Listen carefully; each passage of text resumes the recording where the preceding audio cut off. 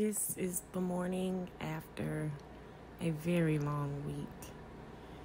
Oh, I don't even know where to begin. No crazy and Christian this week. I just didn't have the energy from the previous weekend to carry over.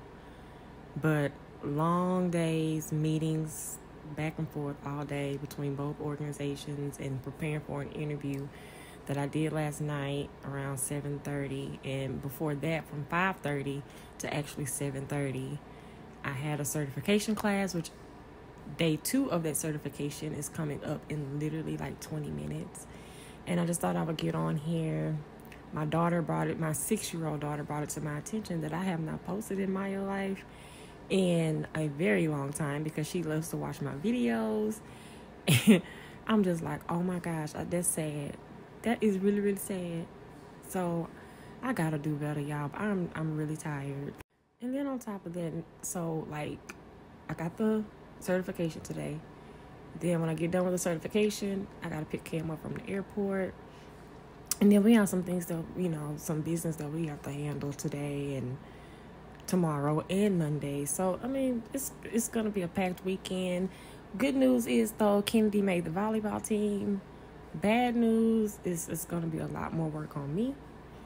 Um, Kingsley tried out for the dance team. Hopefully, I'll find out next week if she made it or not.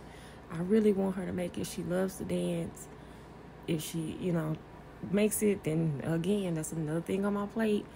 But hey, that's the life of a mom, of a Myo mom. You know what I'm saying? So it is what it is. And hopefully, MyoLife won't be put too far on the back burner from all the other things I have going on. So we'll see. So y'all pray for me as I tackle this pantry again. See, I tried to let it slip like kind of like on purpose because I tend to be the only one that goes in the pantry and clean it. Now I'm not faulting my husband because you know he's hardly ever home. But my oldest daughter is taller than me and very well capable of helping stay on top of this pantry. So, you know, I'm gonna try to get it together and get some more stuff to stay organized. I'm just um I'm glad I got this. I'm working on my cereals now. I literally bought a whole new brand boxes brand new box of cereal. Didn't even know I, I had like two new boxes already in the pantry. Money wasted. We finna cut that out today.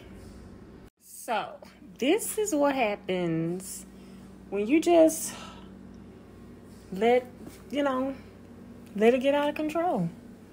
You know, I'm I'm just a mom with two kids and two dogs trying to trying to make it, trying to survive. But I said this year my word is thrive, and I'm gonna tackle this pantry again. My husband has been nice enough to hear my cry, and he bought me some plastic containers that I will be trying to implement in this pantry. More to come. Right now, I just have the cereal ones. As you can see, my children got out of control and ate every chip in the box but the Fritos. Well, guess what, kids? We start Monday, lunch. You need chips? I got them. Fritos. I'm not going to keep wasting money because you want to be picky and spoiled. Okay, you guys. I am tired. My knees hurt. My legs hurt my back and my arms hurt, and I still feel like all I did was like make a true dent in the pantry, but I feel like it, it's a good start. It's getting better. You know what I'm saying? I got my containers up there, and so when I get my other containers and my spice rack thingy and can good thing, I think it'll be a lot better.